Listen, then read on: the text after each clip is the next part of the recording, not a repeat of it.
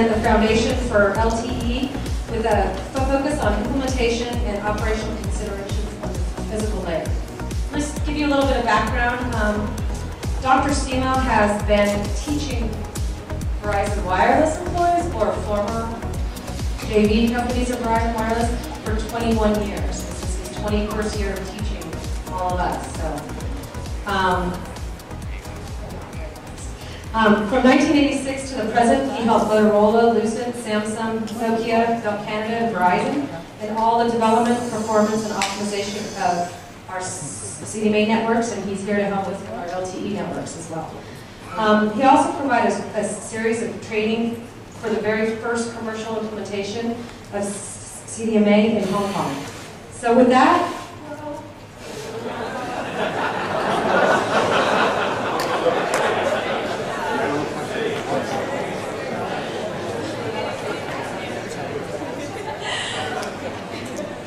Uh, it's been a long day. Um, was a finalist in the NASA astronaut selection process in 1994 and 1996. His 1994 co-finalists included space heroes Rick Husband and William McCool, who were respect respectively commander and pilot of the Space Shuttle Columbia, which was tragically lost in February of 2003. Um, he's the author of a series of books, videotapes, and audio tapes on satellite communication, VSATs, and CDMA technologies. So with that, Dr. Simo.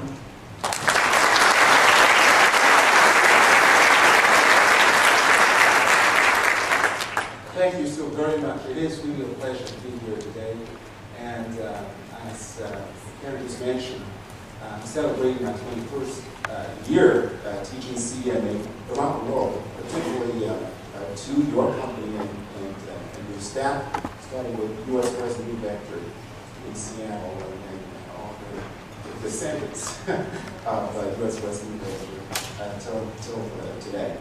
Now, um, I would probably say that uh, before I get started with the, the main presentation, there is a proverb uh, which says, from the continent I, I come from, which is Africa, which says, if you want to walk fast, walk alone.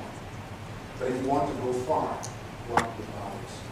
And I've been here 21 years because of you, so really is that this presentation is dedicated to you. I had a wonderful time the past 24, uh, uh, uh, one years. And I must also say that uh, I wrote a book last year, and uh, I didn't know exactly how to introduce the book.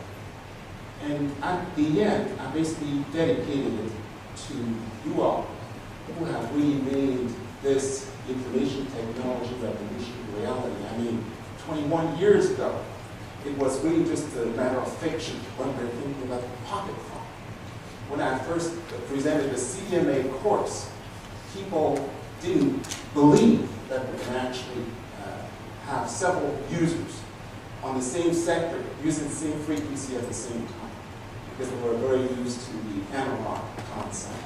When we went to EVDO, people didn't believe we could serve the internet transmit video. And now as we migrate towards LTE, we are now putting ourselves in position to support not only fully integrated digital services, voice, video, data, data, but also high definition television capabilities. So I think that we are completely integrating uh, the uh, telecommunication and information technology services one horrible platform. One final little note of reflection is that in a satellite communications world, 21 years or 20 years ago, the first VSAT networks actually uh, developed, the first one, Federal Express. You had to be a Fortune 500 company to develop a T1 network. It was extremely expensive to do that, to bypass the AT&T developed operating companies. Today, if I offer you T1 from your hip pocket, you'll think it's too small a rate uh, to, and the LTE, we're thinking at providing that something like 100 megabits per second in the downlink, uh, assuming, of course, that we have a 20 megahertz spectrum fully allocated to one single user. But I'm going to go ahead and give you a quick review of the physical layer. This kind of forum is very good because it gives us the ability not to be too serious, but basically to present difficult concepts using rather simple terms and perhaps some analogies as well. But let's start with the definition. I'm going to start with the definition, then give you uh, the key components and technology components, pieces that are making LTE the superstar technology that it is today. It is simply a code. It's called a gold code. But think of it basically as a combination of a PN code and an orthogonal code. So just think of it as a code for right now. Then we have the primary, uh, these are the, the, the two reference signals.